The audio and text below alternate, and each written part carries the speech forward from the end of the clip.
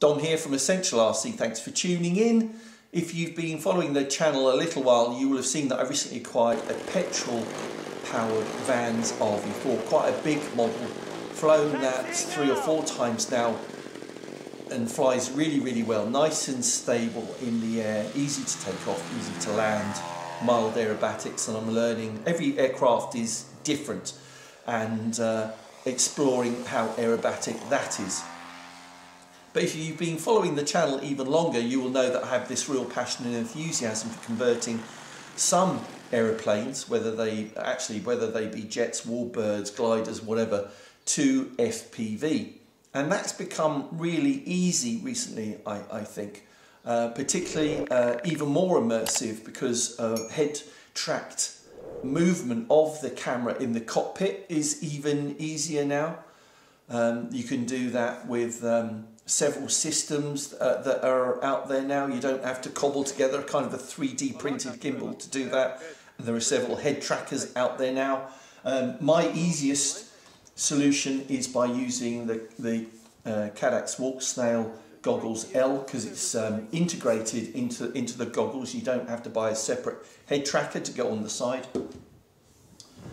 Um, that plus flight controllers, iNav has become more mature and it's easier to set up now. It's, uh, it's a really easy bit of um, firmware to configure now with their configurator and to flash it onto a flight controller. But what I'm trying to do more recently is to make the cockpit more realistic. Um, and there are guys out there who are doing this to an extreme level. I have to say, even replicating the full size aircraft in regards to the cockpit. And I don't think I don't think I will ever get close to that, but I, I would like to now I've got more time on my hands. But one thing I have been interested in, and one thing I did try three years ago, is a multi-function display, an MFD, that shows you real-time telemetry on the on the um, on the camera as you're flying. Now I did try that with a system from RC Gauges, I think it was three years ago, and it had its problems. There were focus problems and there were, was a flicker problem. Um, because and the flicker problem was because of the mismatch between the camera and its shutter speed DJI version 1 of their camera, FPV camera at the time, and the MFD display itself. There was a mismatch, so it, was a, uh, it, it didn't look very good. And I didn't know that before I bought it. It was quite irritating. And then the uh, the manufacturer said, well, what you need to do is to put an ND filter on the camera to change the shutter speed and get them more closely aligned to force the different shutter speed on the camera. And that kind of made it look better. But it still didn't look that great, still wasn't that bright, and the focus was still a problem.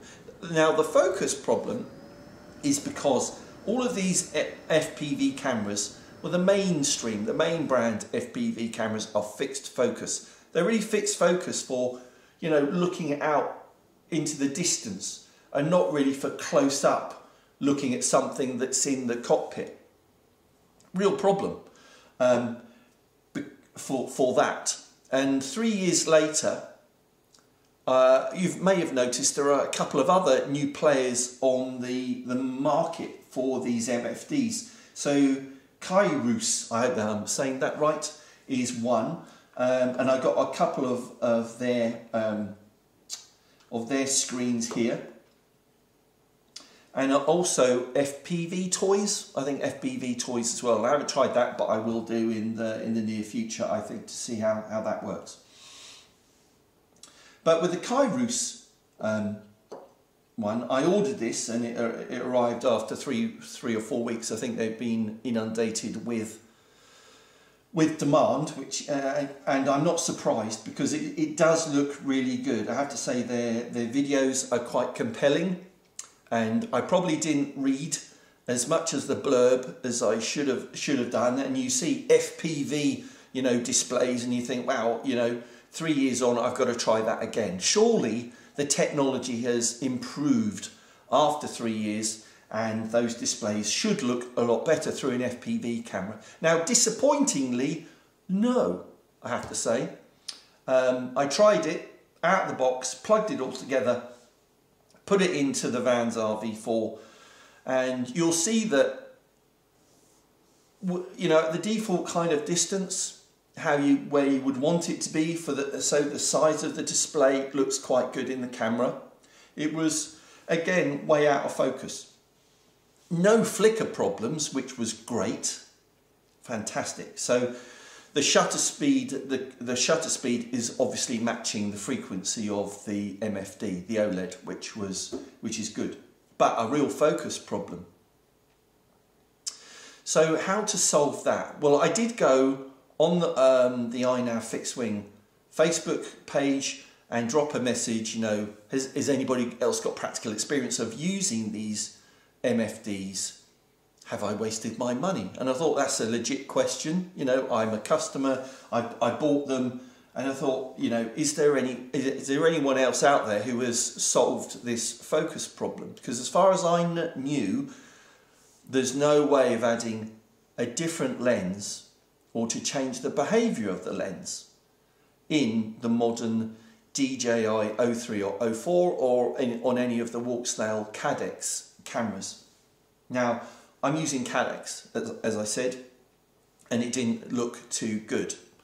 So overnight, I did think, how can I solve this problem? Well, what I can't do is I can't change the focal length and the focus parameters of the Walksnail camera.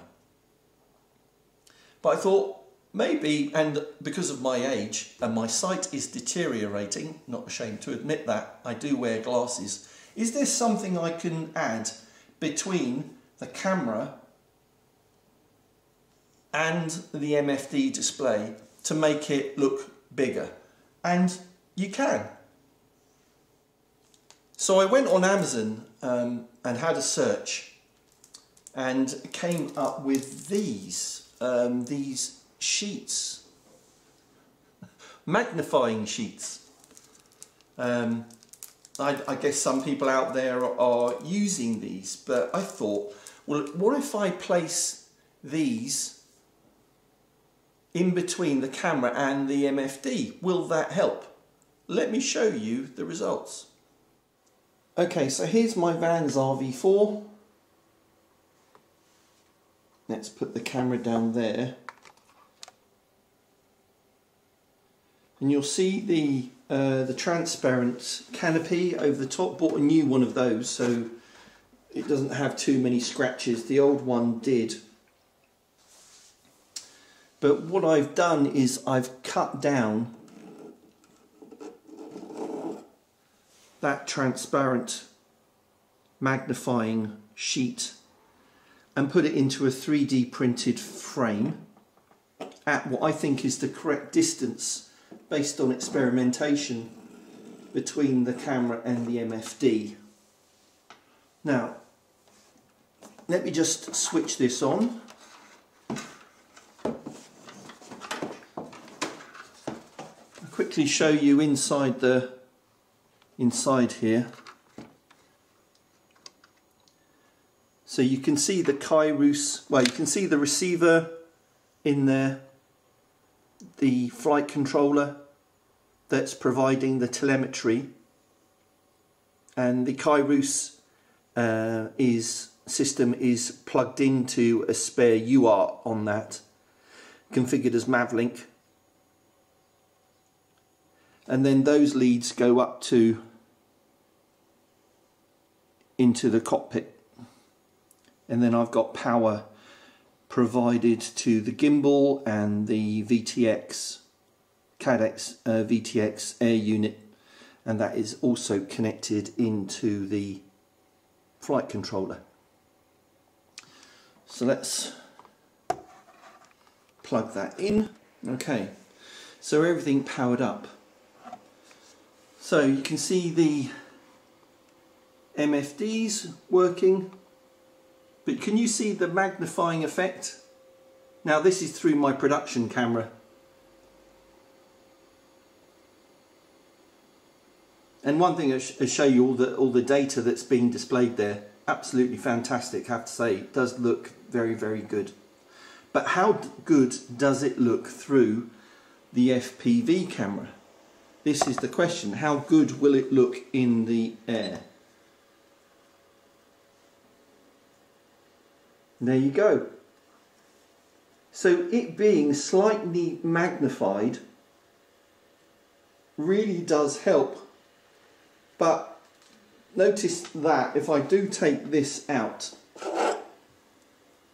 that's how small it looks. And that's in focus, but too far away. This is the thing. Can't change the focal length of the camera. And it looks pretty good there, but it's too far away. It's still not readable because it's too far, far away.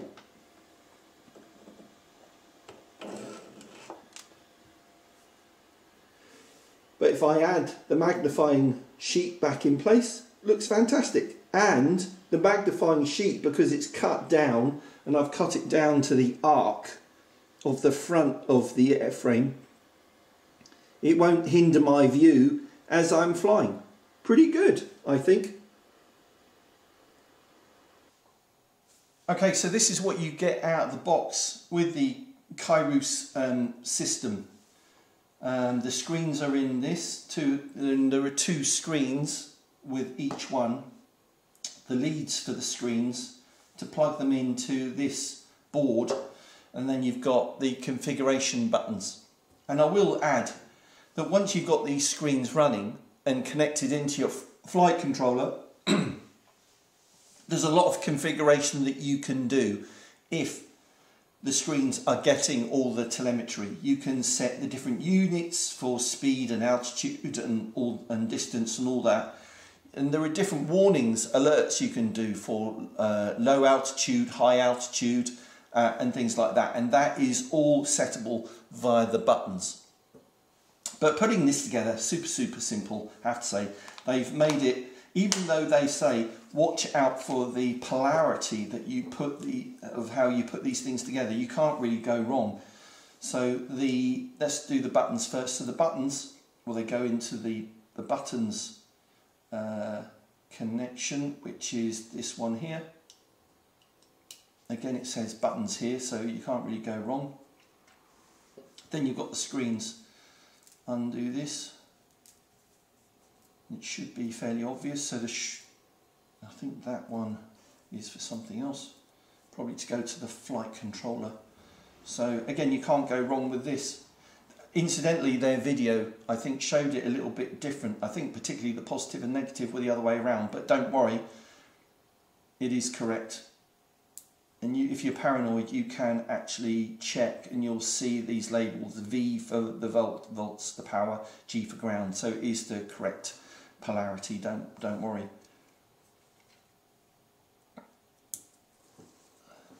Okay, so that's the leads plugged into the screens and, that, and the screens, now we plug those into the board. Uh, screen 1 and 2, and you could change these around if you, in the cockpit you want them the other way around. And then this last lead is the one that um, is for ground and volts and RX and TX and this goes to a spare UART on your flight controller. So plug that into the, the bottom there. Actually it's the other end.